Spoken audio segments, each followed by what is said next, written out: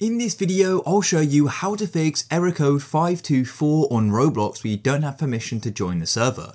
If you're new to the channel, please go down below and consider subscribing to the channel. And once you've done that, please go down below and consider leaving a like as well. And please do watch this video right until the end so you know the full steps.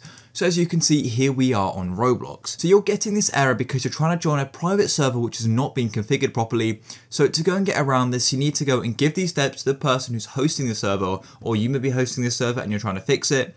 So all you need to do is go and find your private server. So I've got I've got a private server with Mega Easy Obby. So I'm going to click here and wait for it to load, and then I'm going to go to my servers. And as you can see, here we are. I've got got this server here.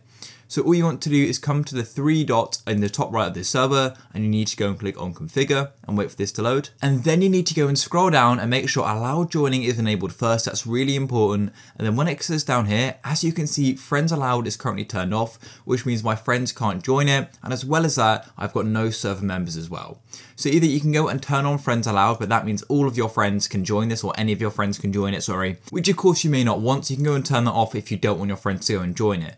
And if you just want certain members, then all you need to do is go and click on add people, and then you can go and type in their name. So I'm going to type in alt, for example, and just go and select the random person. And as you can see, it says you may not invite this user due to their privacy settings. So do make sure the person you're trying to add has got the correct privacy settings, as otherwise you can't go and add that user to the server. And there we go. Once you've done that, you've added them to the server members, or you've gone and switched on friends allowed, you can go and generate a brand new link. Then you or your friend who's trying to join the server and was getting the error code is no longer going to get it and they can go and join it really easily and you can guys can go and have a great time.